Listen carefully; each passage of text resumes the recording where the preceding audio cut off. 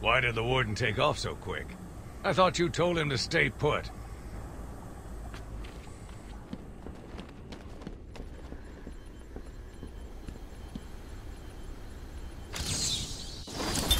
My name is Quincy Sharp, the spirit of Amadeus Arkham. You have done well to decipher my story, and I pray it has helped you on your path.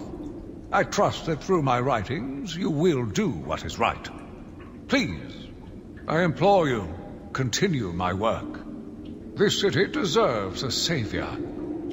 Continue my work.